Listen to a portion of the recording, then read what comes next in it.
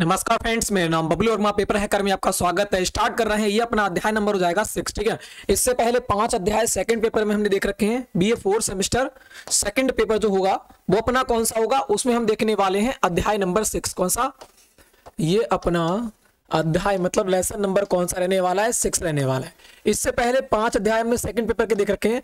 First paper हमने पूरा complete कर रखा है, ठीक है ना? फ़र्स्ट पेपर जो है अपना बीए फोर्थ सेमेस्टर वालों का हिस्ट्री का, वो हमने पूरा कंप्लीट कर रखा है। वो आपको एक ही प्लेलिस्ट में दोनों की दोनों चीज़ें मिल जाएँगी, ठीक है ना?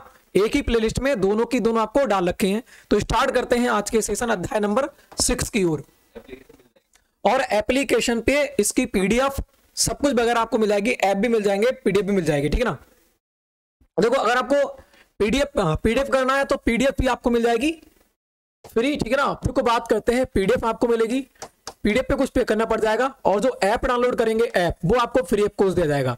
तो जो आपको अच्छा लगे, वो आप यहाँ से डाउनलोड कर सकते हो, ठीक है भी तो स्टार्ट करते हैं अपने स्टेशन के लिए। तो बात करेंगे निम्नलिखित पर टिप्पणी लिखेगा जैसे बात करें द्वितीय विश्व युद्ध या फिर प्रथम विश्व युद्ध एवं बरसाई की संधि, इन पर टिप्पणी लिखने को हमसे कहेगा। अगर हमसे वो शॉर्ट में देगा तो अलग अलग क्वेश्चन दे देगा, डेढ़ डेढ़ सौ वर्डों में लिखो। अगर हमें वो लॉन्ग में देगा तो दोनों को पूछेगा, ये भी डेढ़ सौ वर्डों में लिखो, और ये भी डेढ़ सौ वर्डों में लिखो, ठीक है ना? तो ऐसे आपको यहाँ पर दे देगा, ठीक है भाई? तो इसको थोड़ा सा ध्यान से देखते हुए क्वेश्चनों को सॉल्व करना है। कभी कभी ऐसा होता है, पाँच देगा, कहेगा तो तीन पर टिप्पणी लिखो तो पाँचों पर नहीं लिख रहा है मैं उनमें से तीन पर टिप्पणी लिखना है, ठीक है? स्टार्ट करते हैं। हम बात कर रहे हैं उत्तर की। तो सबसे पहले देखेंगे द्वितीय विश्व के बारे में। तो द्वितीय विश्व युद्ध के बारे में देखते हैं। द्वितीय विश्व स्टार्ट कब होता है? मैं पहली बार में एक बॉक्स बनाना है हमें एग्ज़ाम में। और यहाँ लिखना है, ये कब स्टार्ट हुआ? प्रारंभ कब हुआ? ये लिखना है हमें। प्रारंभ कब हुआ था? तो आपको एक सितंबर। कब हुआ था? एक सितंबर। उन्नीस सौ उनतालीस में स्टार्ट होता है। खत्म कब होता है? यहीं पर लिखना है, खत्म कब होता है? तो आपको एक एक बढ़ाकर दो सितंबर। कौन सा? दो सितंबर उन्नीस सौ उनतालीस में जापान आत्मसमर्पण कर देता है अमेरिका के खिलाफ, ठीक है ना? तो ये आपको देखने को मिलेगा, दो खत्म हो जाता है। यहीं पर आपको एक बहुत इंपॉर्टेंट है यूएसए कब शामिल हुआ सेकेंड वर्ल्ड वार में? तो आपको ध्यान रखना है, सात अप्रैल 1900 सात अप्रैल 1941 में जो जापान होता है पर्ल हार्बर आक्रमण करता है। उसके दूसरे दिन 8 दिसंबर की बात है। कौन सी? 8 दिसंबर। 8 दिसंबर 1941 को क्या होता है? यूएसए शामिल हो जाता है। यूएसए शामिल होता है सेकेंड वर्ल्ड वार में, ठीक है ना? तो ये आपको छोटी छोटी जो मिनिमम बातें हैं, जैसे कि बात करें हीरो सीमा नागासाकी पर भेजे गए थे नौ अगस्त छह अगस्त नौ अगस्त उन्नीस सौ लिटिल बॉय फैटमैन यूरेनियम दो सौ पैंतीस यूरेनियम दो सौ पैंतालीस, दो सौ उनतालीस, ये दोनों, ये सारे की सारे आपको यहाँ पर लिखना है, ठीक है ना? जैसे मैंने कहा लिटिल बॉय हो गया फैटमैन हो गया, ठीक है ना? और लिटिल बॉय फैटमैन ठीक है ना? और उसके बाद में कौन सा यूरेनियम दो सौ पैंतीस दो सौ उनतालीस, ये सारे के सारे आपको इसी बॉक्स में लिख देना है, ठीक है? चलो, आगे हम देखते हुए चलेंगे इनके बारों में, मगर आपको एक बॉक्स पहले बना देना जो कि एग्जामिनर सिर्फ़ इस बॉक्स को देखे और आपको अच्छे नंबर मिल सके, ठीक है भाई? स्टार्ट करते हैं अपने लेसन के लिए। तो बात करते हैं एक सितंबर उन्नीस सौ उनतालीस को जर्मनी एवं पोलैंड पर आक्रमण के साथ ही घटनाओं का सिलसिला प्रारंभ हो चुका था। तो फ़र्स्ट वर्ल्ड वार का काल क्या था? फ़र्स्ट वर्ल्ड कार्ड एक ही था क्योंकि जर्मनी हुआ करता था? जर्मनी। क्योंकि जर्मनी की सेना थी वो एक लाख सीमित कर दी गई, है ना? कि सिर्फ़ एक लाख ही सेना, एक लाख ही सेना क्या रख सकेगा? एक लाख सेना जर्मनी रख सकेगा, ठीक है ना? और इस पर दस लाख पाउंड का, दस लाख दस लाख पाउंड का क्या लगाया गया? इस पर जुर्माना लगाया गया। कि आप भाई जो फ़र्स्ट वर्ल्ड वार में जो हमारी हानि हुई है और देशों की तो जर्मनी क्या करेगा? जर्मनी दस लाख पाउंड देगा, ठीक है ना? तो ये यहाँ पर इसके ऊपर जुर्माने लगाए गए। तो ये जर्मनी जो था, वो इतनी धनराशि, इतना सैनिक निश्चित ना करके वो दूसरे आक्रमणों से क्यों भय करता? तो इस वजह से वो दबाव में आकर ब्रिटेन के तो संधि तो कर लेता है बरसाई की, मगर उस संधि का उल्लंघन करता है। क्यों? क्योंकि अपनी स्वतंत्रता के लिए, अपनी स्वतंत्रता के लिए उस जो संधि होती है, उसका उल्लंघन करता है। कैसे करता है? पोलैंड पर जर्मनी आक्रमण कर देता है, एक सितंबर उन्नीस सौ उनतालीस। और यही आक्रमण फ़र्स्ट वर्ल्ड वार में बदल जाता है। तो बात करेंगे दोबारा सेकेंड वर्ल्ड वार में। सेकेंड विश्व युद्ध में। सेकेंड विश्व युद्ध में यही क्या होता है? बदल जाता है। तो बात करें द्वारा पोलैंड पर आक्रमण के साथ ही घटनाओं का सिलसिला शुरू हुआ जिसे द्वितीय विश्व युद्ध का व्यापक आधार प्रदान किया, जिसने बाद में चलकर धीरे धीरे क्या हुआ? सेकेंड वर्ल्ड वार में क्या हो गया? ये डिवाइड हो गया। ठीक है ना? चलो, बात करते हैं आगे। हम बात करें द्वितीय विश्व वर्षाय की संधि की कठोरता, विश्वव्यापी आर्थिक मंदी, तानाशाह राजशाही इंग्लैंड की तुष्टीकरण की नीति। जो बात करें सशक्तिकरण और बात करें शक्ति संतुलन की गड़बड़ी आदि जैसे मूल भूत कारणों की समरभ परिणाम देखने को यह मिलता है। अब यहाँ पर क्या क्या कहा गया उसको देखो। बात करते हैं विश्व वर्षाय की संधि की कठोर विश्वव्यापी आर्थिक मंदी। मतलब जो संधि हुई थी बरसाई की संधि, कब होती है तो 28 नवंबर 28 हाँ जी। कब होती है ये? आप कहोगे ये जो बरसाई की संधि होती है, ये होती है जून में। कब? 28 जून 1919 में आपको देखने को मिलेगी। कब?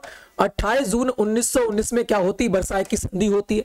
इस बरसाई की संधि के तहत, अभी मैंने बताया था, जर्मनी पर इकोनॉमी इकोनॉमी मतलब आर्थिक आर्थिक दस लाख पौंड का जुर्माना दस लाख पाउंड का जुर्माना जर्मनी पर लगाता है, जो उसको देने के लिए समर्थ नहीं था, ठीक है ना? और बात करते हैं जो ब्रिटेन की तानाशाही थी। ब्रिटेन की धमकी के कारण ही आकर, और जो रूस था, ठीक ना? जापान, इनकी धमकी के आदर, मित्र राष्ट्रों की धमकी में आकर ज़बरदस्ती इसका क्या किया? बरसाई की संधि करवाई गई थी, ठीक है ना? और बात कर राजनीतिक इंग्लैंड की तुष्टिकरण जो इंग्लैंड था इंग्लैंड ने जापान को जा, इंग्लैंड ने जर्मनी को धमकी दी कि भी अगर तुम संधि नहीं करोगे तो सारे देश मिलकर मित्र राष्ट्र आप पर क्या करेंगे? हमला करेंगे। तो इंग्लैंड की यह धमकी थी तुष्टिकरण की नीति और बात करते हैं सस्तीकरण शक्ति संतुलन एक लाख सेना सीमित कर दी गई जर्मनी की। एक लाख सेना सीमित कर दी गई कि गड़बड़ी आदि जैसे कुछ मूलभूत कारणों का समनव्य परिणाम देखने को मिलता है सेकेंड वर्ल्ड वार। वही बात करें प्रथम विश्व युद्ध के बाद।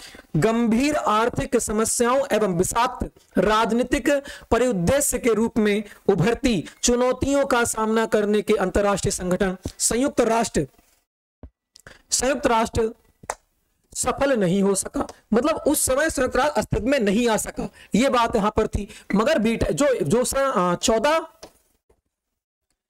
चौदह सिद्धांत, जो चौदह सिद्धांत लेकर आया था जर्मनी, है ना? जर्मनी का जो चौदह सिद्धांत लेकर आया था, है ना? जो जर्मनी का जो चौदह सिद्धांत लेकर आया था, ठीक है ना? बिल्सन बुड्रो बिल्सन, है ना? जो बुड्रो बिल्सन था बुड्रो बिल्सन, कौन था? बुड्रो बिल्सन बुड्रो बिल्सन चौदह सिद्धांतों को लेकर जो आया था वो सिद्धांत बरसाए की संधि के नहीं रखे गए थे।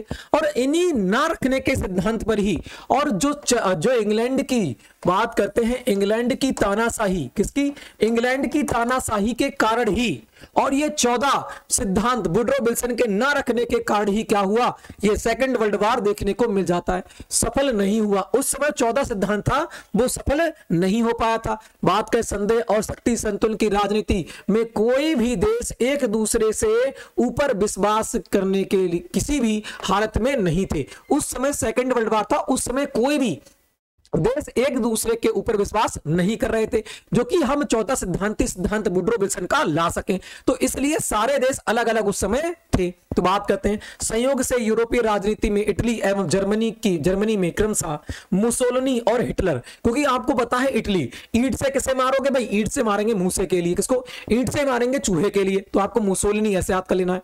या, ये ईट मारेंगे किस पर? मूसर से तोड़ देंगे ईट, ऐसे याद कर लेना इसके लिए। और बात करेंगे जर्मनी। जड़ किसकी है? आप कहोगे हिटलर की है, कैसी हिट जर्मनी जर्मनी मतलब जर की बात कर रहा है, जर को हिट करना है, किससे? कुल्हाड़ी से। तो ऐसे इसको याद कर लेंगे आप। इटली का कौन था? मुसोलिनी, जर्मनी कौन था? हिटलर। जैसे ताना साके ताना सा के अधीन सत्ता स्थापित हुई थी। बात करते हैं द्वितीय विश्व के बारे में। एक धारणा प्रचलित है।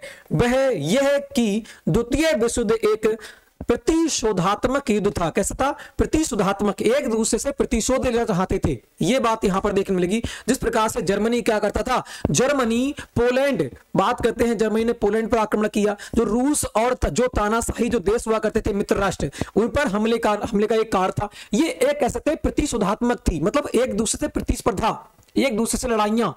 ठीक है ना? अपनी रंजिश निकालना। जिसमें कोई दो राय नहीं थी कि 1919 के पश्चात विभिन्न यूरोपीय देशों में अधिकामय तंत्र अस्तित्व में आए, जो इस बात की पुष्टि करता है कि ये देश अपने अपमान का बदला लेने के लिए तैयार थे। क्योंकि जो देश उस समय जो मित्र धुरी राष्ट्र थे, वो हार गए थे और धुरी राष्ट्र पर बहुत बड़ा जुर्माना लगा गया था। उसी वजह से जो धुरी राष्ट्र थे, मित्र राष्ट्रों से बदला लेना चाहते थे। यही सेकेंड वर्ल्ड वार का कारण बनता है। इन सभी कारणों के समनव्य परिणामों से द्वितीय विश्व कैसा रहा? अवश्य भावी हो गया। मतलब संभव हो चुका था दूसरे विश्व होना। वर्षाय की संधि के बाद में ही, ठीक है ना? तो यहाँ पर हमने देखा सेकंड वर्ल्ड वार पर टिप्पणी थोड़ी सी ठीक है ना? तो ये आपको सारी बातें याद रखना है सेकंड वर्ल्ड वार के बारे में, ये कैसे कैसे हुआ, मुख्य कारण क्या था? क्योंकि जर्मनी क्या करता है? जर्मनी पोलैंड पर आक्रमण करता है। जर्मनी पोलैंड पर आक्रमण करता है। क्यों करता है? इसके बारे में सभी अभी हमने देखा, क्योंकि जर्मनी पर दस लाख पौंड का जुर्माना। और बात करते हैं, एक लाख सेना इसकी सीमित कर दी गई थी। इंग्लैंड, फ्रांस जो भी मित्र राष्ट्र थे, उन देशों के तहत, ठीक है ना? इंग्लैंड हो गया, फ्रांस हो गया, रूस हो गया, ये बड़े बड़े देशों के तहत क्या कर दी गई थी?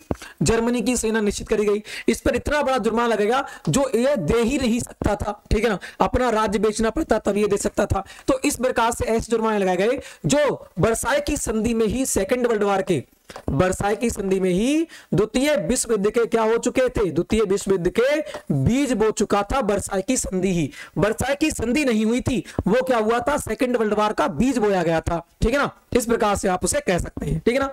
तो यहाँ पर हमने क्या देखा? सेकंड वर्ल्ड वार के बारे में देखा। ठीक है ना? चलो, अब चलते हैं किसके बारे में? सेकंड टाइप की ओर। तो सेकंड पर टिप्पणी देखेंगे। हम देखेंगे प्रथम विश्व एवं वर्षाई की संधि के बारे में। प्रथम विश्व आपको सबको है कब स्टार्ट हुआ था? तो आपको क्या 28 जुलाई को स्टार्ट हुआ था? कब हुआ था? 28 जुलाई 28 जुलाई 1914 में क्या हुआ था? स्टार्ट हुआ था। 11 नवंबर 11 नवंबर 1918 खत्म हुआ। यूएसएस में कब शामिल हुआ? अमेरिका। तो आपको क्या अमेरिका शामिल हुआ था? 6 अप्रैल 1917 में शामिल हुआ था अमेरिका, ठीक है ना? तो इतनी बातें आपको यहाँ से वेरी वेरी इंपोर्टेंट हो जाती हैं, ठीक है ना? उस समय विड्रो विल्सन क्या हुआ करता था? अमेरिका का राष्ट्रपति हुआ करता, जो चौदह चौदह सिद्धांत लेकर आता है, ठीक है ना? चलो तो बात करते हैं प्रथम विश्व एवं वर्षाई की संधि के बारे में। अगर आप शुरू से पढ़ रहे हो तो सब कुछ याद है आपके लिए। प्रथम विश्व एवं वर्षाई की संधि, द्वितीय विश्व युद्ध का एक प्रमुख कारण यह है, एक प्रमुख कारण प्रथम विश्व में ही निहित था, क्योंकि जो द्वितीय विश्व का कार था, वो पहले विश्व में ही निहित हो चुका था। एक प्रकार से पूर्णतया आ चुका था, ठीक है ना? वही बात करें बरसाए की संधि। बरसाए की संधि ऐसा प्रतीत, यहाँ पर ऐसा होना चाहिए। ऐसा प्रतीज होता था, ऐसा प्रतीत होता है कि शांति संधि नहीं थी। अपितु 20 वर्षों के लिए युद्ध विराम संधि हुआ करती थी, क्योंकि 20 वर्ष के बाद ही देखने को मिलता है 19 के बाद उनतालीस में। तो 20 वर्ष हो गए ना, हो गए। तो आप हो गए, ये 20 वर्षों के लिए एक प्रकार से शांति संधि हो जाती है। जो आपकी बरसाए की संधि कब हुई थी तो बरसाए की संधि आप ध्यान रखना है। बरसाए की संधि होती है 28 जून 1919 में। कब? 28 जून 1919 में बरसाए की संधि नहीं थी। ये एक युद्ध विराम था जो 20 वर्षों के लिए था। प्रथम विश्व युद्ध प्रथम विश्व युद्ध संभवतः दोनों पक्षों की आकांक्षाओं को पूर्ण नहीं कर सकता था। अतः इन इन अरमानों को पूर्ति हेतु द्वितीय विश्व युद्ध हुआ। बात करेंगे बरसाए की संधि पर। भी द्वितीय विश्व युद्ध के समान समाप्त हो, समाप्त होने के पश्चात 1919 ईस्वी में जर्मनी के साथ बरसाए की संधि हो गई। किसकी? जर्मनी के साथ क्या होने लगी? बरसाए की संधि हमने पहले देख ही रखा है। ठीक है ना? वर्षा की संधि 19 जून 1919 में वर्षा की संधि होती है जर्मनी के साथ। बात करते हैं संधि हो गई। जर्मनी के साथ इसमें प्रतिशोध की भावना के अत्यंत कठोर व्यवहार किया गया। जर्मनी के साथ प्रतिशोध की भावना को उजागर करने के लिए एक प्रकार से प्रतिशोध निकालने के लिए, ठीक है ना? उस पर क्या लगाए गए? जर्मनी के साथ प्रतिशोध की भावना को अत्यंत कठोर व्यवहार किया गया जर्मनी के ऊपर। बात करते हैं ताकि उसे स्थायी रूप से शक्तिहीन बनाया जा सके, क्योंकि जर्मनी उस समय क्या हुआ करता था? बहुत ही शक्तिशाली देश हुआ करता था, ठीक है ना? तो बात करते हैं जर्मनी को कमज़ोर करने के लिए। इसके ऊपर सेना निश्चित कर दी गई। मैंने बताया एक लाख। और बात करते हैं इसको जुर्माना। दस लाख पाउंड का जुर्माना इसके ऊपर लगाया गया। तो इस प्रकार से यहाँ पर क्या हुआ? जर्मनी की रीढ़ टूटती हुई देखने देखने को मिलती है। तो बात करें इस संधि के द्वारा जर्मनी को अनेक भागों में विभाजित किया गया। अनेक टुकड़े कर दिए गए। उसके उपनिवेशों पर मित्र राष्ट्रों ने अधिकार किया, जो उसके उपनिवेश थे, जो उसका व्यापार हुआ करता था, व्यापार पर जो मित्र राष्ट्र जीत गए थे, उन्होंने क्या किया? अपना अधिकार प्रविष्ट कर दिया। और बात कहते हैं, और खानों एवं कारखानों को मित्र राष्ट्रों ने परस्पर वितरित कर लिया। जो खाने हुआ करती थी जर्मनी की, उन पर अधिकार किसका हो चुका था? मित्र राष्ट्रों का हो चुका था। बात करें जर्मनी पर, युद्ध हर जाना भी इतना अधिक किया गया क्योंकि 10 लाख पौंड का जुर्माना यहाँ पर लगाया गया। इतना ज़्यादा जुर्माना इस पर लगाया गया कि उसे चुकाना जर्मनी के एक संभव एक, जर्मनी के लिए कैसा था? असंभव था। जर्मनी से इस इस संधि पत्र पर बलपूर्वक हस्ताक्षर कराए गए थे इंग्लैंड के द्वारा। इस प्रकार मित्र राष्ट्रों द्वारा दूरदर्शिता का प्रदर्शन कर, प्रदर्शन करती हुई जर्मनी के साथ की गई। इस संधि ने जर्मनी को इस भंग इसे भंग करने, इसे होगा इसे यहाँ पर, इसे भंग करने पर एवं मित्र राष्ट्र से प्रतिशोध लेने के लिए बाध्य कर दिया था। क्योंकि सेकेंड जो वर्षा की संधि थी, वो एक प्रकार से जर्मनी के लिए कैसी थी? एक कांटे के समान चुभ रही थी। बात करते हैं इसी कारण द्वितीय विश्व युद्ध को प्रतिशोधात्मक युद्ध कहा जाता है। तो द्वितीय विश्व युद्ध को प्रतिशोधात्मक युद्ध इसीलिए कहते हैं क्योंकि जर्मनी पर बहुत बड़े कर और बहुत ही बड़ा जुर्माना और सीमा, सीना सीमित और उसके जो खाने थी उससे छीन ली गई। व्यापार जो था, व्यापार पर मित्र राष्ट्रों का अधिकार हो चुका था। तो जर्मनी एक प्रकार से जर्मनी की रीढ़ टूटती जा रही थी। तो इस वजह से जर्मनी ने अपना प्रतिशोध लेने के लिए सेकेंड वर्ल्ड वार करना संभव ही समझा फिर। ठीक है ना? चलो, आगे बढ़ते हैं। अब हम देखेंगे क्वेश्चन नंबर सेकंड के बारे में, ठीक है? क्वेश्चन नंबर सेकंड जिसमें क्या देखने वाले द्वितीय विश्व की प्रमुख घटनाओं पर प्रकाश डालिए। द्वितीय विश्व की प्रमुख घटनाओं पर प्रकाश डालिए। ठीक है ना? तथवा द्वितीय विश्व के समय कौन कौन सी प्रमुख घटनाएँ घटी? विवेचना कीजिए। सेकंड वर्ल्ड वार के समय जो घटनाएँ हैं, वो हमें यहाँ पर कह रहा उनको लिखिएगा। तो ध्यान रखना, जिस किसी को पीडीएफ चाहिए, पीडीएफ आपको कहाँ मिलेगी? पीडीएफ मिलेगी आपको साइट पर जाकर मिल जाएगी। वहीं पर आपको ऐप भी मिल जाएँगे, वहीं पर ऐप। सारी बुकों के पीडीएफ एक साथ डाउनलोड कर सकते हो यहाँ से। ये भी आपको मिल जाएँगे और ऐप आपको बिल्कुल फ्री ऑफकोर्स मिल जाएँगे। कैसे? बिल्कुल फ्री ऑफकोर्स वो भी आपको साइट के ही बटन पर मिल जाएँगे। तो दोनों में से आप कुछ भी डाउनलोड वहाँ पे कर सकते हो, ठीक है ना? चलो तो चलते हैं सेकंड क्वेश्चन की ओर। तो हम देखेंगे, द्वितीय विश्व युद्ध की प्रमुख घटनाओं पर प्रकाश डालिए। द्वितीय विश्व युद्ध के समय कौन कौन सी प्रमुख घटनाएँ घटी थी, उनकी विवेचना कीजिएगा। तो द्वितीय विश्व की घटनाओं के बारे में डिस्कस करते हैं। तो बात करते हैं यहाँ पर। द्वितीय विश्व युद्ध की महत्वपूर्ण घटनाएँ कौन सी? द्वितीय विश्व युद्ध की महत्वपूर्ण घटनाओं के बारे में। स्टार्ट करते हैं। तो बात करेंगे द्वितीय विश्व के समय की प्रमुख घटनाएँ, निम्नलिखित थी। बात करेंगे पोलैंड पर आक्रमण, क्योंकि जर्मनी ने किस पर आक्रमण किया था? पोलैंड पर आक्रमण किया था। तो जर्मनी एवं रूस के मध्य पोलैंड को आपस में बांट लेना, क्योंकि आपको सबको पता है, जर्मनी और रूस मिलकर इस समय, जर्मनी और रूस के मिलकर क्या करते हैं? पोलैंड को आपस में बांट लेने संबंधी समझौते के फलस्वरूप, एक सितंबर उन्नीस सौ उनतालीस को जर्मनी सेना ने प्रतिगति से पोलैंड पर आक्रमण कर दिया। तो बात होगी एक सितंबर उन्नीस से सेकेंड वर्ल्ड वार स्टार्ट होता है और इसी दिन क्या करता है, जर्मनी पोलैंड पर आक्रमण कर देता है। बात करेंगे 27 सितंबर तक पोलैंड ने जर्मनी के समक्ष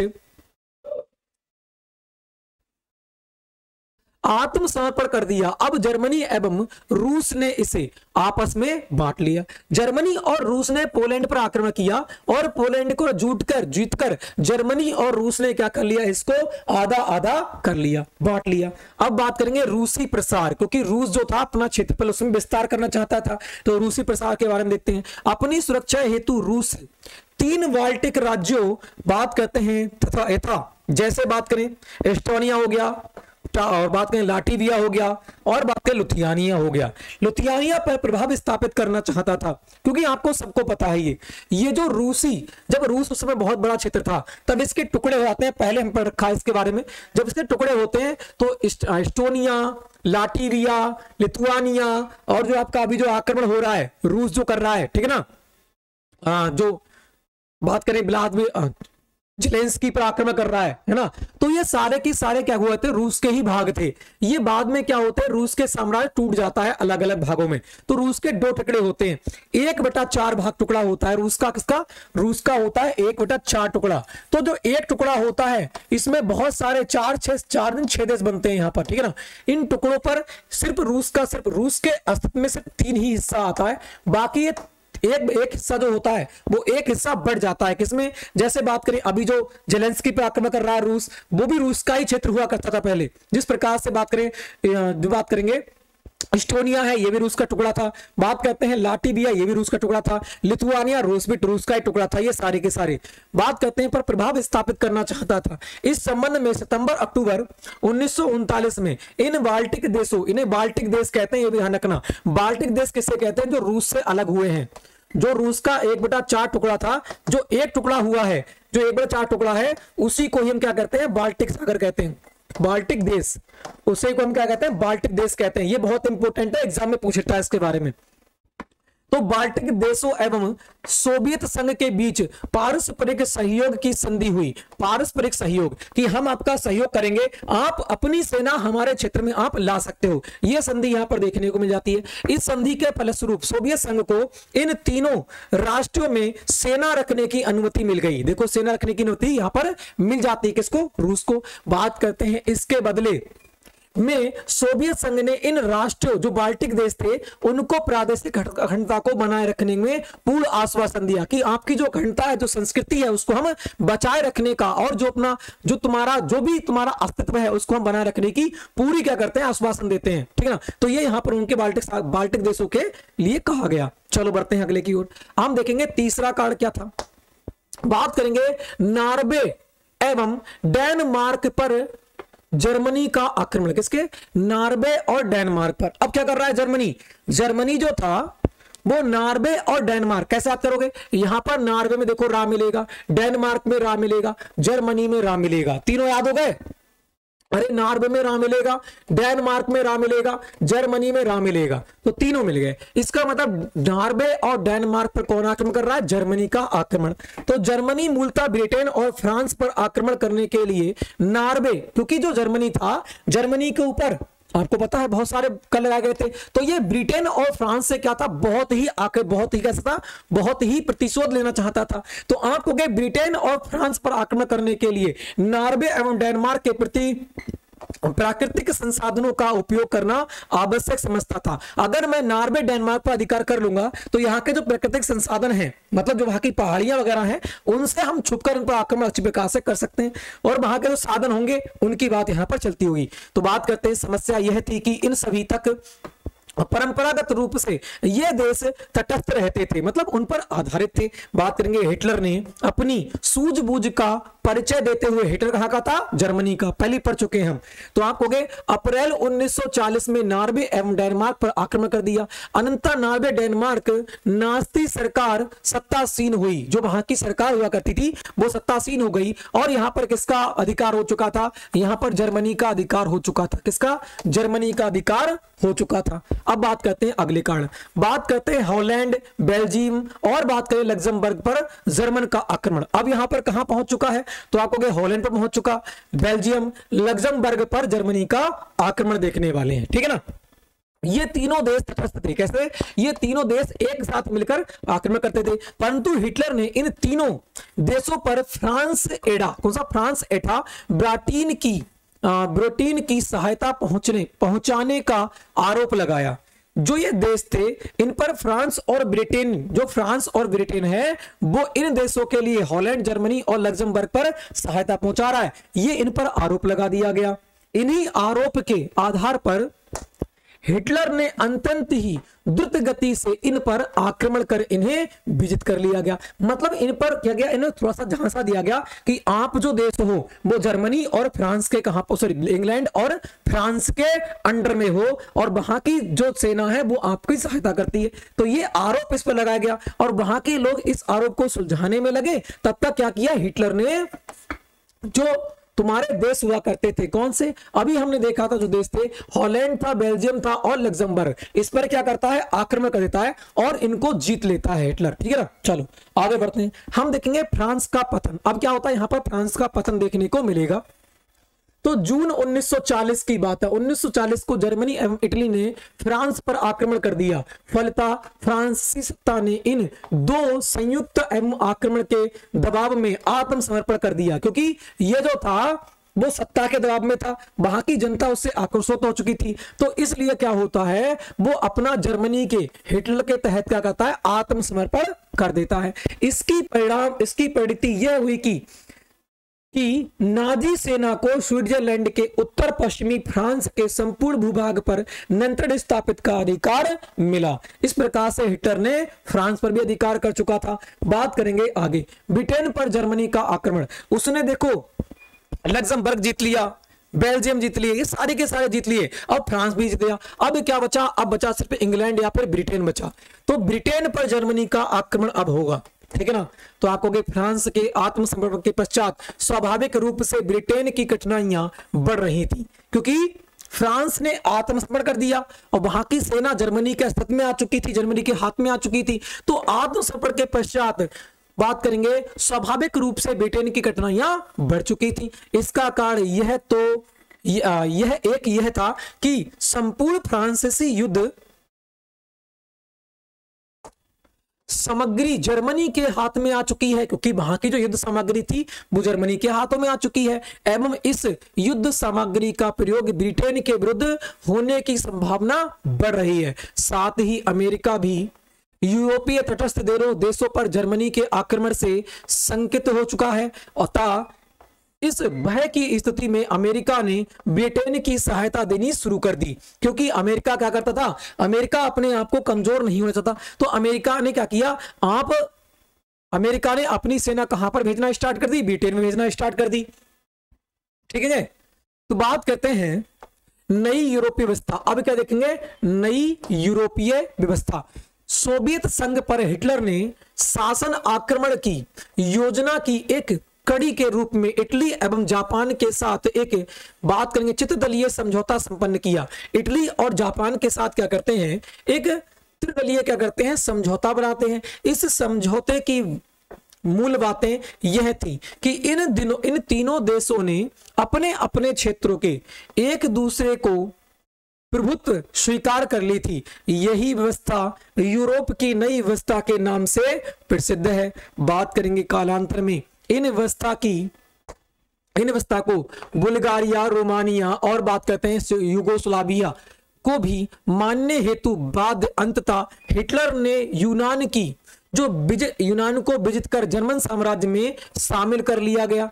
जो हिटलर ने, जो यूनान हुआ करता था इसे मिस्र कहते हैं, इसको सॉरी यूनान, नहीं, यूनान हाँ यूनान मिस्र को कहते हैं। तो यूनान को विजित कर जर्मनी साम्राज्य में शामिल कर लिया। अतः हम यह कह सकते हैं कि हिटलर एवं मुसोलिनी की आक्रमकता, जापान की साम्राज्यवादी प्रवृत्ति आदि के परिणाम स्वरूप द्वितीय विश्व युद्ध का प्रारंभ 1 सितंबर उन्नीस सौ उनतालीस को हुआ, जिसकी समाप्ति 2 सितंबर 1945 को जापान के आत्मसमर्पण के साथ देखने को मिलती है। वह एक भयंकर युद्ध था, जिसमें पहली बार परमाणु का प्रयोग किया गया था। तो आपको सभी को पता है कि 6 सितंबर 6 अगस्त को होता है एक।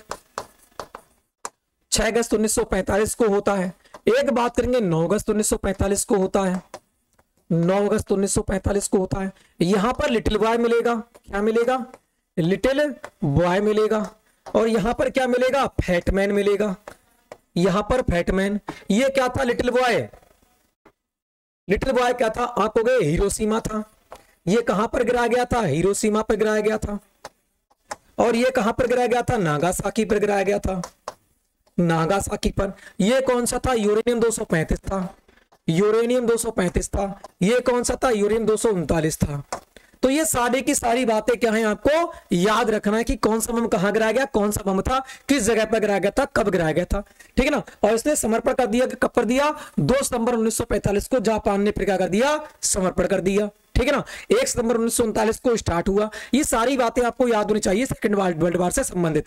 तो ये हमने यहाँ पर देखा। ठीक है ना?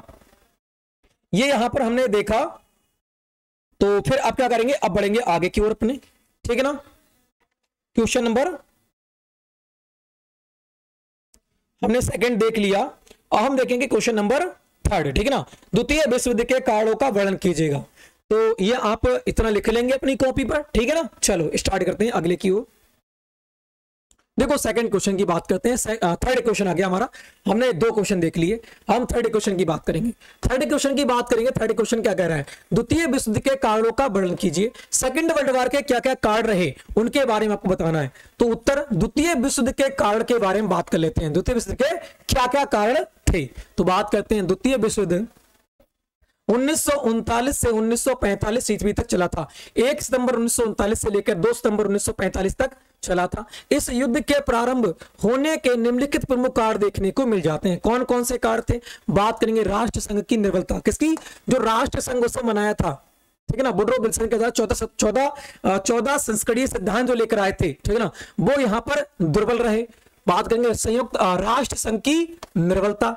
प्रथम विश्व युद्ध के पश्चात पारस्परिक समस्याओं की शांतिपूर्ण ढंग से सुलझाने में उद्देश्य में एक अंतरराष्ट्रीय संस्था संस्था, राष्ट्र संघ की स्थापना की गई थी। किंतु राष्ट्र संघ अपने उद्देश्य में सफल न प्राप्त कर सका। अनेक राष्ट्र राष्ट्र संघ में पृथक हो गए और पृथक में दूर हो चुके थे। उन्होंने अपने प्रस्तावों को अस्वीकार कर दिया, किंतु राष्ट्र संघ ऐसे देशों के विरुद्ध कार्यवाही न कर सका, जिसने उसकी निर्बलता स्पष्ट की थी। बात करते हैं, अतः अन्य देशों को भी राष्ट्र संघ से सुरक्षा प्राप्त करने का विश्वास प्राप्त हो गया। अन्य को तो प्राप्त कुछ देशों को प्राप्त नहीं था। तो वही यहाँ पर सेकेंड वर्ल्ड वॉर क्या बनता है कार्ड बनता है। अगले बढ़ते हैं, साम्राज्यवाद की बात करते हैं।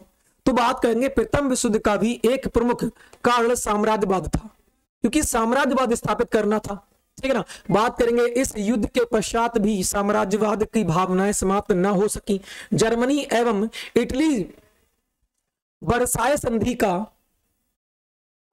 विरोध करते हुए जनसंख्या को बसाने के लिए, उपनिवेश स्थापित करने के लिए प्रयत्नशील हो गए। बात करेंगे जापान भी साम्राज्यवादी नीति का समर्थक था, तथा अपनी पृष्ठ अपनी पृष्ठ चीन पर लगी थी। उसकी जो दृष्टि थी, वो किस पर? चीन पर लगी हुई थी। इन देशों को साम्राज्यवादी नीति इंग्लैंड, फ्रांस के हितों से टकरा रही थी। अतः युद्ध होना आवश्यक था, क्योंकि उन्हें अपने साम्राज्य का विस्तार करना था। साम्राज्यवादी का मतलब यही है कि अपने साम्राज्य का विस्तार करने की नीति, जैसे पहले राजाओं में हुआ करती थी। यह भी एक कारण था। बात करेंगे सैनिकवाद कौन सा? सैनिकवाद के बारे में देख लेते हैं।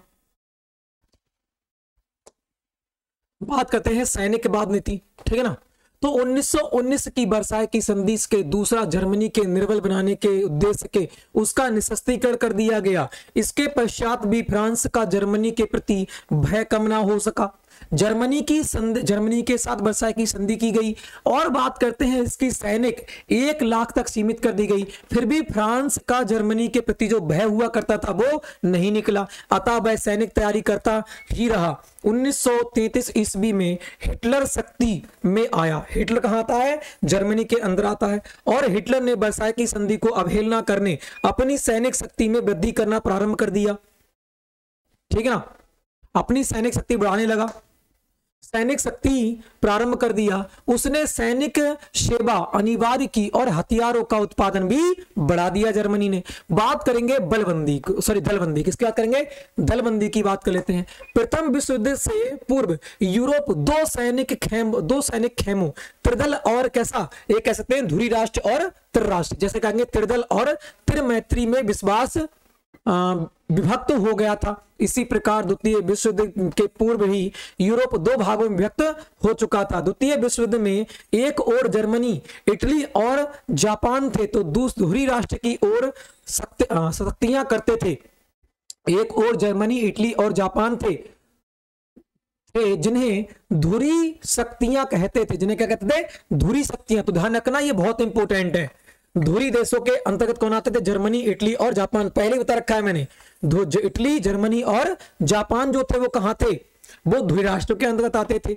धुरी शक्तियाँ बरसाए संधि की विरोधी थी। और धुरी, और बात करते हैं, अधिनायकवाद की समर्थक थी। दूसरी ओर मित्र राष्ट्रों में कौन? फ्रांस, पोलैंड हो गया, है ना?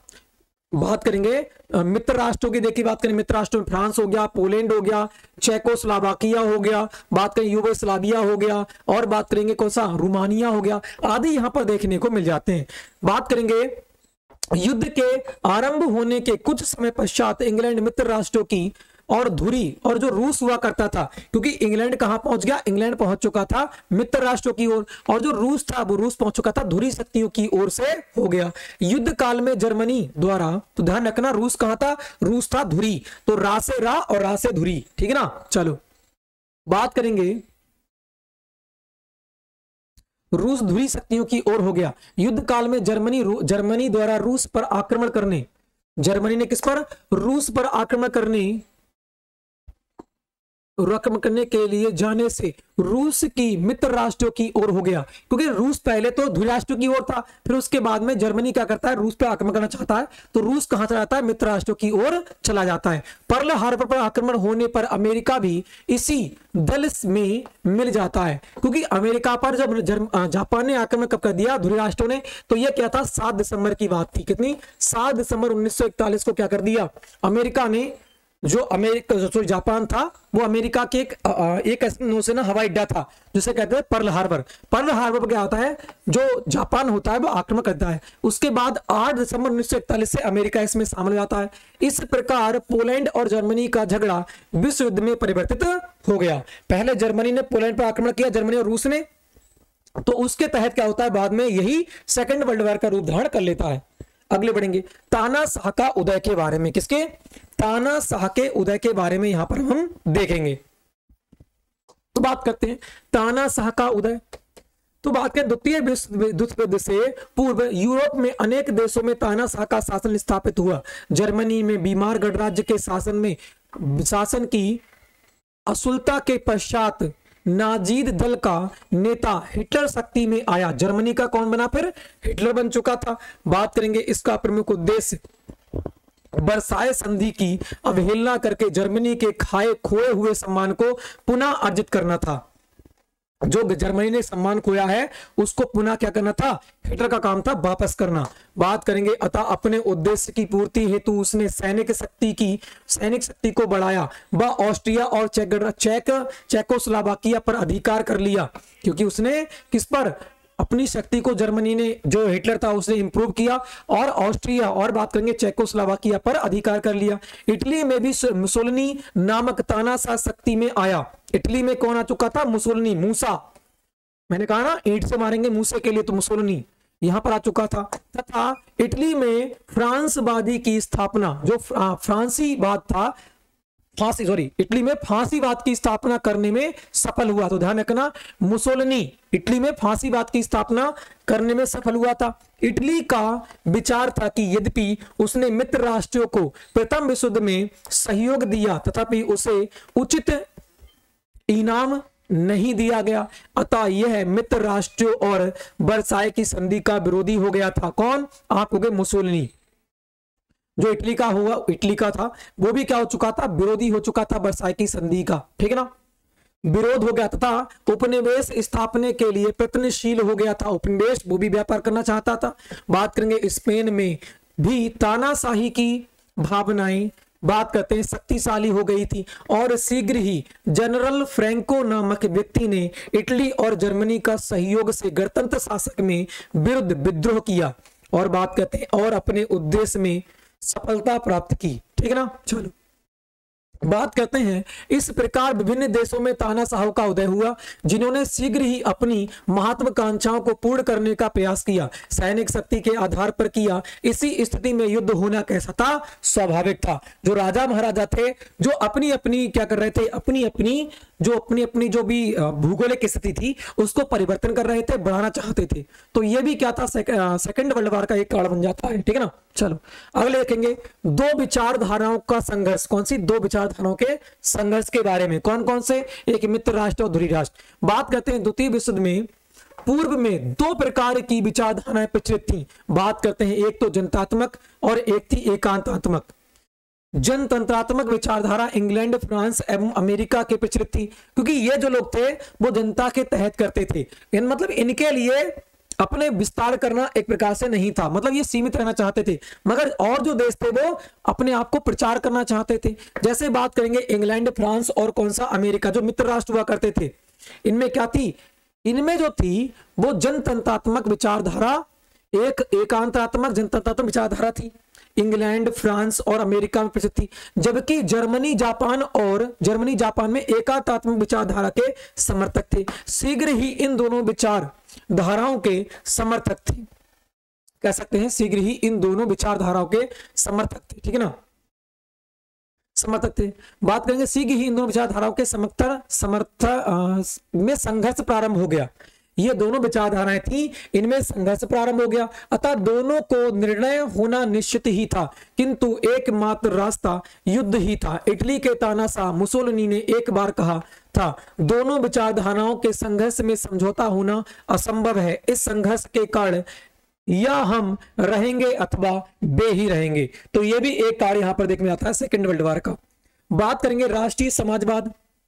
राष्ट्रीय समाजवाद की बात कर लेते हैं। तो बात करेंगे जर्मनी में इस प्रकार की भावना जागृत हो गई कि वे युद्ध आ रहे हैं। कैसे हैं? वे युद्ध आ रहे हैं। अतः मनुष्यों में श्रेष्ठ होने के कारण उन्हें ही शासन करने का अधिकार प्राप्त था। मतलब जर्मनी के लोग क्या चाहते थे कि हम युद्ध आ रहे हैं? मतलब हमें युद्ध आता है। हम औरों से बहुत शक्तिशाली हैं और पूरे विश्व पर, पूरे यूरोप पर हमारा ही अधिकार होना चाहिए। तो इस प्रकार से जर्मनी का एक ये अधिक एक प्रकार से ये उसके अंदर कैसी थी? अपमानजनक नीति थी। बात करते हैं यह राष्ट्रीय समाजवाद की भावना भविष्य में अत्यंत हानिकारक प्रमाणित हुई। प्रथम विश्व युद्ध के पश्चात जर्मनी की जर्मनी को विभिन्न भागों में विभक्त कर दिया था, जिसने जर्मन जिसमें जिसने जर्मन अलग अलग राष्ट्रीय के राष्ट्रों के अंध राष्ट्र के राष्ट्र के अलग अलग राष्ट्रों के अध्ययन अध्ययन हो मतलब अधिक हो गए थे। बात करेंगे ऑस्ट्रिया चेको चेकोस्लावाकिया और पोलैंड में रहने वाले जर्मनों के कारण अत्यंत गंभीर समस्या उत्पन्न हो गई। हिटलर हिटलर विदेशों में रहने वाले जर्मनी जर्मनों का जर्मनी से मिलाना चाहता था।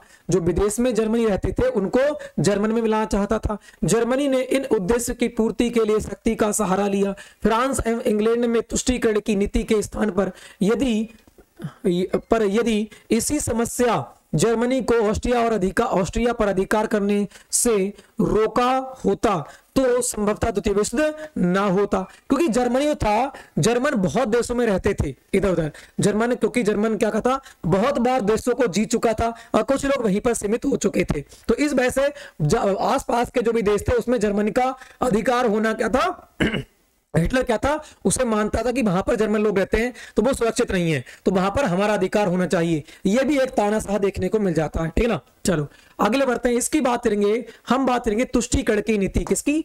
तुष्टिकरण की नीति के बारे में। ठीक है ना? तुष्टिकरण की नीति। तो बात करेंगे मित्र राष्ट्र एवं तानाशाह के प्रति। तुष्टिकरण की नीति के परिणाम स्वरूप तानाशाह अत्यधिक शक्तिशाली होते चले जा रहे थे। और बात करेंगे विश्व युद्ध का एक कारण बने। मित्र राष्ट्रों पर तुष्टिकरण की नीति का पालन करने कारण मित्र राष्ट्रों के पारस्परिक झगड़ों का होना लाजमी था। बात करते हैं इंग्लैंड और अमेरिका, जर्मनी के प्रति। उदारता का व्यवहार करना चाहते थे इंग्लैंड और जो अमेरिका थी, वो जर्मनी के प्रति उदारता का प्रभार करना चाहते थे, क्योंकि उनका मत था कि इस प्रकार के व्यवहार करने पर जर्मनी भविष्य में युद्ध नहीं करेगा। वहाँ इंग्लैंड में बने सामान को अत्यधिक मांग देखने को मिल जाती थी। बात करेंगे इसके अतिरिक्त इंग्लैंड रूस के रूस के साम्यवाद के प्रति अत्यंत शक्ति था और रूस के साम्यवाद को रोकने के लिए जर्मनी का उत्थान आवश्यक था।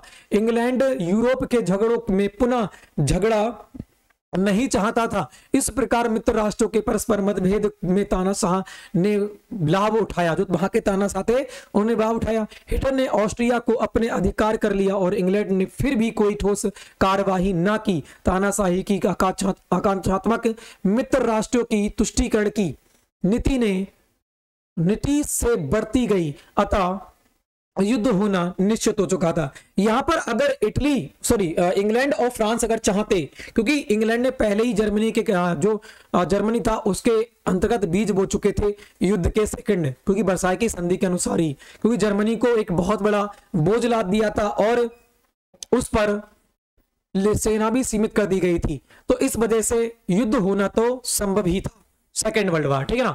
तो यहाँ पर हमने देखा थ्री क्वेश्चन जिसमें हमने देखे द्वितीय विश्व युद्ध के कारण, ठीक है ना? अगर सारे के सारे आपको समझ में आए हैं तो बहुत अच्छी बात है।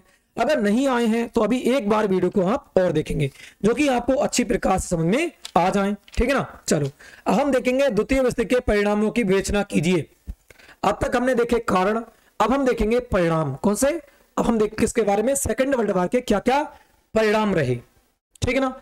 तो बात करें क्वेश्चन नंबर फोर, द्वितीय विश्व के परिणामों की विवेचना कीजिए अथवा द्वितीय विश्व के परिणामों पर एक नोट लिखिएगा। तो आपको क्या करना है? जिस किसी को इसकी पीडीएफ डाउनलोड करना है, पूरे पेपर की, जितने पेपर हैं, फोर्थ सेमेस्टर वाले, पीडीएफ और ऐप। ऐप फ्री मिल जाएँगे। पीडीएफ मिल जाएँगी, ठीक है ना? तो बात करते हैं, ये सारे के सारे आपको कहा मिलेंगे? ये आपको मिलेंगे हमारी साइट www.paperhacker.in वहाँ पर आपको जाना है डाउनलोड कर लेना है, ठीक है ना? ऐप फ्री मिलेगा पीडीएफ पे कुछ ना कुछ पे करना पड़ सकता है, ठीक है ना? चलो तो जैसा आपको अच्छा लगे, वैसा आप पढ़ सकते हो, दोनों प्रकार से आपको उपलब्ध है, ठीक है भाई? चलो नेक्स्ट क्वेश्चन को देखेंगे। हाँ तो परिणाम देखते हैं इसके। तो बात करते हैं, द्वितीय स्तर के परिणामों के नोट लिखिएगा, ठीक है ना? तो आपको परिणाम देखना है सेकेंड वर्ल्ड वार के बाद में क्या क्या परिणाम देखने को मिले सेकेंड वर्ल्ड वार के? स्टार्ट करते हैं। तो बात करते हैं उत्तर, द्वितीय विश्व के परिणामों के बारे में। तो द्वितीय विश्व लगभग छह वर्षों तक लड़ा गया। आपको सबको पता है, एक सितंबर उन्नीस सौ उनतालीस से लेकर एक सितंबर उन्नीस सौ उनतालीस से लेकर दो सितंबर 1945 तक चला था। ठीक है ना? तो बात करते हैं, छह वर्षों तक लड़ा गया। यह युद्ध मानव इतिहास का सबसे भयानक और विनाश का युद्ध था, जिसने संपूर्ण विश्व को प्रभित प्रभावित किया था। इसके प्रभाव इतने व्यापक थे कि विश्व इतिहास में एक युग का ही अंत हो जाता था। ठीक है ना? बात करते हैं और एक नए युग का प्रारंभ हुआ, क्योंकि इसमें बहुत भयंकर परिणाम देखने को मिले थे। परंतु इस नूतन युग में भय, चिंता, अनिश्चितता और तनाव की स्थिति पूर्ववत ही बनी रही। संक्षेप में सेकेंड वर्ल्ड वार के परिणामों की निम्नवत जो परिणाम है, उनकी ओर इंगित करती है। इसमें बहुत भयंकर युद्ध देखने को मिले। दो परमाणु बम गिराए गए, जिसमें और छोटे छोटे बम्बों की तो बहुत बरसात हुई थी, जिसमें बहुत जन, धन, माल की बहुत ही हानि देखने को यहाँ पर मिली थी। बात करते हैं, परिणाम कौन कौन से थे, इनको देखेंगे। तो पहला जाता है युद्ध देशों की क्षति। कौन सी? युद्धांत देशों की क्षति। द्वितीय विश्व युद्ध में भाग लेने वाले देशों की गंभीर क्षति उठानी पड़ी। सर्वाधिक क्षति रूस को उठानी पड़ी थी। सबसे ज़्यादा क्षति जो हुई थी वो किसको? रूस को हुई थी। केवल स्टाइलिन ग्रांड स्टाइलिन ग्रांड के युद्ध में मारे गए रूसी नागरिकों की संख्या तो संपूर्ण युद्ध में मारे गए नागरिकों के बराबर ही थी। रूस में इतने लोग मारे गए थे जो संपूर्ण विश्व के अनेक देशों में मारे गए थे। इसका सबसे बड़ा कारण यह था कि पश्चिमी मित्रों ने चार उन्नीस ईस्वी तक धुरी राष्ट्रों के विरोध में कोई दूसरा मोर्चा नहीं खोला था। ओनली जो धुरी राष्ट्र थे, वो किस पर? रूस पर ही आक्रमण करना चाहते थे। अतः जर्मनी के प्रभाव को, रूसी मोर्चों को ही सहना पड़ा था। बात करते हैं युद्ध युद्ध में रूस को एक खरब बीस करोड़ डॉलर की संपत्ति का नुकसान उठाना पड़ा। उसने सत्रह हज़ार नगर नष्ट हो चुके थे, सत्तर लाख नागरिक काल अवकलित हो चुके थे, मारे गए थे और यहाँ से भाग गए थे कुछ। बात करें ब्रिटेन को ही महान क्षति का सामना करना। ब्रिटेन को भी बहुत बड़ी क्षति हुई थी। इसमें चार लाख पैंतालीस हज़ार नागरिकों का काल अविकलित हो गए। बात करते हैं, जहाँ तक अमेरिका का संबंध है। अमेरिका युद्ध के अंत में कूदा था। ना तो उसकी भूमि पर युद्ध लड़ा गया और ना ही उसे भयंकर बम वर्षा का सामना करना पड़ा। अतः अमेरिका को कोई विशेष हानि उठानी नहीं पड़ी। उल्टे युद्ध के पश्चात मतलब उसके युद्ध के पश्चात, उसके युद्ध के युद्ध के पश्चात उसके उत्पादन में अभूतपूर्व वृद्धि देखने को मिली। किसके? अमेरिका। और अमेरिका फिर क्या होता है? एक शक्तिशाली देश बनकर उभरता है। जहाँ तक छोटे छोटे राष्ट्रों का संबंध था, उन्हें भी अपार क्षति उठानी पड़ी थी। तो ये तो हो गया नुकसान। अब बात करेंगे यूरोपीय प्रभुत्व की समाप्ति। जो यूरोप में प्रभुत्व था, जो राजा राजा महाराजों का अस्तित्व था, उसकी समाप्ति देखने को मिली। सेकंड विश्व युद्ध में ने जिस नूतन युग को जन्म दिया, वह युग यूरोपीय प्रभुत्व को समाप्ति का युग था। द्वितीय विश्व युद्ध ने यूरोपियन शक्तियों को इतना झंझोर कर रख दिया था कि युद्ध से पूर्व तक युद्ध विश्व के अनुशासित करने का दावा करने वाला यूरोप अब समस्या प्रधान यूरोप के रूप में उभरा था। ठीक है ना? बात करेंगे धुरी राष्ट्रों ने अपना साम्राज्य खो दिया। धुरी जो राष्ट्र थे उन्होंने अपना साम्राज्य खो दिया। ब्रिटेन, फ्रांस भी शक्तिहीन हो चुके थे। ठीक है ना? ये हो गया। अब बात करेंगे तीसरा कारण। देखेंगे दो महान शक्तियों का उदय, किसका? दो महान शक्तियों के उदय के बारे में। यूरोप की प्रभुसत्ता विश्व के राजनीतिक रंगमंच पर छिड़ होने ही नए युग में दो महाशक्तियों का अनुभव हुआ। संयुक्त राज्य अमेरिका और रूस, ये दो शक्तियाँ उभर कर आई। रूस की बहुत क्षति हो चुकी थी। ये सेकंड सेकंड नंबर का उभरता हुआ और अमेरिका फ़र्स्ट नंबर का उभरता हुआ देश बनकर आया, महाशक्तियाँ उभर कर आई। बात करेंगे शीत युद्ध का प्रारंभ। किसका? शीत युद्ध का प्रारंभ। द्वितीय विश्व युद्ध में ब्रिटेन, फ्रांस और अमेरिका ने रूस के साथ मिलकर धुरी राष्ट्रों का विरोध किया था। इससे ऐसा लगता था कि युद्ध के पश्चात इस मित्र इस मित्रतापूर्ण व्यवहार में, व्यवहार से शांति की स्थापना हो सकेगी। यह शीत युद्ध का प्रारंभ हो चुका था। मतलब सभी देश क्या रहने लगे फिर? मिलने जुलने की सहमति यहाँ पर देखने को मिली। साम्राज्यवाद और उपनिवेशवाद का विघटन हो गया। जो साम्राज्यवाद, समाज, अपने साम्राज्य का विस्तार करना, उपनिवेशवाद, एक दूसरे से व्यापार करना, इसका विघटन हो चुका था, खंडन हो चुका था। द्वितीय विश्व युद्ध का यह महत्वपूर्ण परिणाम साम्राज्यवाद और उपनिवेशवाद का विघटन भी था। मित्र राष्ट्रों ने धुरी राष्ट्रों के विरोध में केवल स्वतंत्रता और आत्मनिर्भर के सिद्धांत के आधार पर युद्ध किया था। अतः अतः युद्ध की समाप्ति के पश्चात साम्राज्यवाद एवं उपनिवेश का विघटन होना स्वाभाविक हो चुका था, क्योंकि युद्ध में मित्र राष्ट्र विजय हुए थे। दोबारा मित्र राष्ट्र क्या हो गए थे? इसमें विजय हो चुके थे, विजय हो चुके थे।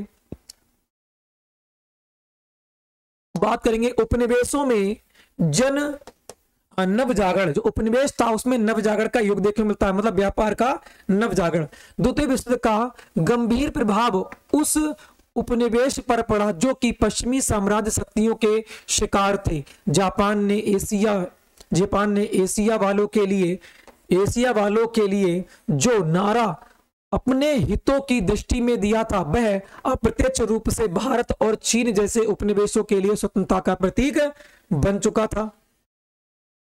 बात करेंगे सातवां, देखो सातवां। सातवां जो देखने मिलेगा, वो मिलेगा मानवतावाद देखने को यहाँ पर मिला। बात करेंगे विश्व युद्ध के कमज़ोर राष्ट्रों को। साम्राज्यवादी शिकंजों का शिकंजों का शिकंजों का शिकार होना पड़ता था। युद्ध के पूर्व एवं युद्ध के काल में अल्पसंख्यकों के अधिकार को जिस प्रकार कुचला गया था, उससे प्रभावित होकर संयुक्त राष्ट्र संघ के मानवीय अधिकारों का एक घोषणा पत्र प्रकाशित कर मानवता की पत्रिका कायम करने के लिए महत्वपूर्ण कदम उठाए गए थे। बात करेंगे आठवां परिणाम क्या देखने को मिला। बात करें निशस्त्रीकरण के प्रभाव। निशस्त्रीकरण मतलब शस्त्र अब नहीं चलाए जाएँगे, इनका उपयोग नहीं होगा। द्वितीय वर्ल्ड वार के युद्ध अणु बम के प्रयोग और उसके कई विशाल, कई विनाश लीला ने अंतरराष्ट्रीय जगत के निशस्त्रीकरण का शस्त्र खड़ा कर दिया। प्रश्न खड़ा कर दिया। बात करेंगे परंतु निशस्त्रीकरण की दशा में रूस और अमेरिका के मध्य बात करते हैं। मतीद के कारण निशस्त्रीकरण के लिए किए गए प्रयास कभी समर्थक ना हो सके, क्योंकि अमेरिका कहता है कि मैं शक्तिशाली बनूँगा और रूस कहता है कि अमेरिका से मैं शक्तिशाली बनूँगा। तो इसलिए अभी तक ऐसा कोई कदम कठोर नहीं उठाया गया। बात करेंगे प्रादेशिक संगठन। शीत युद्ध के, शीत युद्ध की स्थिति को देखते हुए साम्राज्यवादी, रूस, गैर साम्राज्यवादी अमेरिका ने अपने अपने प्रभाव की वृद्धि के लिए क्षेत्रीय प्रशासनिक संगठनों का गठन प्रारंभ कर दिया। इसमें नाटो हो गया, बात करते हैं बारसा पैक्ट हो गया, सिंटो हो गया, बात करेंगे ओ एस हो गया, आदि विशेष उल्लेखनीय संस्थाएँ देखने को मिलती हैं। इस प्रकार स्पष्ट है कि द्वितीय विश्व ने प्रारंभ महायुद्ध के महायुद्ध के सदस्य ही अनेक समस्याएँ उत्पन्न कर दी।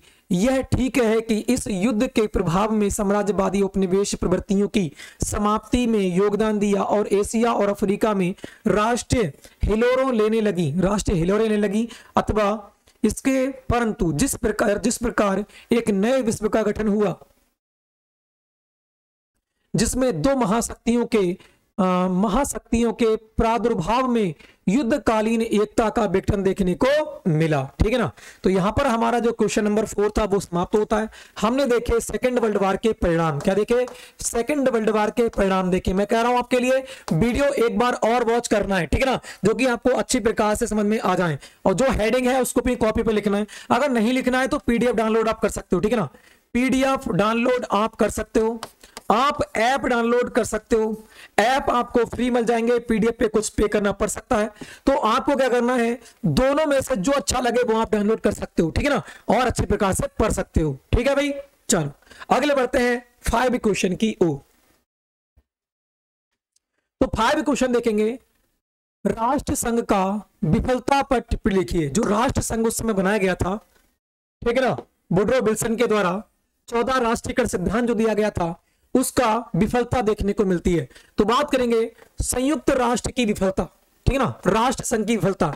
तो राष्ट्र संघ की स्थापना प्रथम विश्व के पश्चात युद्धों को रोकने, युद्धों को बात करते हैं, रोकने एवं परस्पर झगड़ों को शांतिपूर्ण ढंग से निपटाने का लिपटा कर विश्व शांति बनाए रखने के उद्देश्य से की गई थी। परंतु यह दुर्भाग्यपूर्ण रहा कि राष्ट्र संघ अपने इस उद्देश्य को पूरा करने में विफल रहा। यह संगठन शीघ्र ही महत्व महाशक्तियों के हाथों की कठपुतली बन गया। बात करते हैं नौ से। स्वार्थ साधने हेतु उपयोग में लाने थे। इस संगठन में अनेक दुर्बलताएँ थी। सार्वजनिक शक्तियाँ, देश संयुक्त राज्य अमेरिका, संयुक्त राष्ट्र के सदस्य नहीं था। बात करते हैं अमेरिका, इसका सदस्य नहीं था। अमेरिका संयुक्त राष्ट्र का सदस्य नहीं था। जो महाशक्ति था, वही इसका सदस्य नहीं था। राष्ट्र संघ के पास अपनी निजी सेना नहीं थी। बात करते हैं जिसने बल जिसके बल पर यह अपने निर्णयों को मनवा सके, जिसका परिणाम यह हुआ कि सभी देशों ने अपनी अवहेलना शुरू की। सभी देशों ने संयुक्त जो संयुक्त संघ उसकी अवहेलना स्टार्ट की। और अपनी जो अवहेलना थी, उनको भी नकार दिया। जो वर्षा की संधि हुई थी, उसको भी नकार दिया। जापान एवं जर्मनी, इटली जैसे देश राष्ट्र संघ को अपना संबंध अनुच्छेद कर मनमानी करने लगे और राष्ट्र संघ इस स्थिति में कुछ नहीं कर सका। इस तरह हम कह सकते हैं कि संयुक्त राष्ट्र की इस दुर्बलता इस दुर्बल स्थिति में द्वितीय विश्व का मार्ग प्रस्तुत कर दिया। इसके अतिरिक्त संयुक्त राष्ट्र निशस्तीकरण के मुद्दों पर भी विफल देखने को मिला, मगर निशस्तीकरण मतलब शस्त्रों का प्रयोग ना हो, इसमें विफल देखने को मिला। हालाँकि इसके लिए प्रयास किए, इस प्रयास तो हुए, परंतु परस्पर मतभेदों के कारण इस दिशा में कोई खास प्रगति देखने को नहीं मिली। इसका स्वाभाविक परिमाण यह हुआ कि सशस्त्रों की होड़ मच गई और संपूर्ण यूरोपीय देशों का राजनीतिक वातावरण इसके होड़ में क्या हुआ? शामिल हो गया। फ्रांस, जर्मनी के निरंतर भयभीत कर रहा था। फ्रांस जो था फ्रांस, जर्मनी से निरंतर भयभीत हो रहा था तथा इसी को ध्यान में रखते, रखकर उसने अपने सैन्य शक्ति में वृद्धि कर ली थी। बढ़ चढ़कर प्रयास किए थे। फ्रांस ने अपनी सेना पर, अपनी सेना पर Maginot light, Maginot line Maginot line का निर्माण किया था। मतलब उसकी जो सीमा हुआ करती थी जर्मनी और फ्रांस की, उसकी सीमा को कहते हैं क्या? Maginot line. ध्यान रखना वेरी वेरी इंपॉर्टेंट है ये। मैगिनो लाइन का निर्माण किया, बात करेंगे बंकरों के निर्माण की गतिविधि, तीव्र कर दी। इसके प्रतिक्रिया रूप जर्मनी ने भी मैगिनो लाइन के समांतर किलो की श्रृंखला निर्मित की, जिसे जिसे क्या कहते हैं? जिसे सीज फ्रेंड लाइन कहते हैं, जिसे Siegfried Siegfried line कहा गया। इस, इसका निर्माण जर्मनी के पश्चिमी सीमा को मज़बूत करने के लिए किया गया था। तो इस प्रकार से हमने देखा किसके बारे में? संयुक्त राष्ट्र की विफलता। किसकी? संयुक्त संघ की, सब संघ की, राष्ट्रवाद बनता है संयुक्त संघ की विफलता। तो यहाँ पर हमारा जो अध्याय नंबर सिक्स था, जो हमारा अध्याय नंबर अध्याय नंबर सिक्स था, उसको सेकेंड वर्ल्ड वार इसे कहते हैं सेकंड विश्व युद्ध था, ठीक है ना? सेकंड विश्व युद्ध। इसको हमने क्या कर दिया है? समाप्त कर दिया है। ठीक है ना? अब आपको यह वीडियो दो बार वीडियो देखना है, ठीक है ना? पढ़ने के बाद में दो बार वीडियो को देखो, अच्छी प्रकार से सब कुछ आपको समझ में आएगा, ठीक है ना? मेरा मानना है कि आपको बहुत अच्छी प्रकार समझ में आया होगा, और जिस किसी को पीडीएफ डाउनलोड करना है, पीडीएफ कहाँ से करोगे? पीडीएफ कहाँ से करोगे? और बात करते हैं, ऐप कहाँ से करोगे? दोनों की दोनों आपको डब्ल्यू पर जाना है, जो हमारी साइट है क्रोम पर मारोगे साइट में पहुँच जाओगे। फोर्थ सेमेस्टर बटन है, उस पर सारे की सारे, जो भी फोर्थ सेमेस्टर के सारे हैं पीडीएफ आपको पे करना पड़ जाएगी ऐप आपको फ्री मिल जाएँगे। जैसा आपको करना है वो डाउनलोड करके आप पढ़ सकते हो, ठीक है ना? चलो वीडियो को यही रहते हैं, क्योंकि आज का अध्याय नंबर जो हमारा सिक्स था, वो खत्म हो चुका है।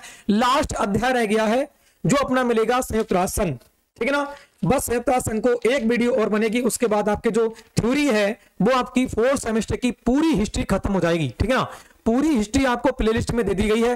पूरी हिस्ट्री आप पढ़ सकते हो अच्छे प्रकार से, ठीक है ना? चलो, वीडियो अच्छे लगे तो लाइक करना शेयर करना चैनल को सब्सक्राइब करना बेल आइकन को प्रेस करना। जय हिंद, जय भारत।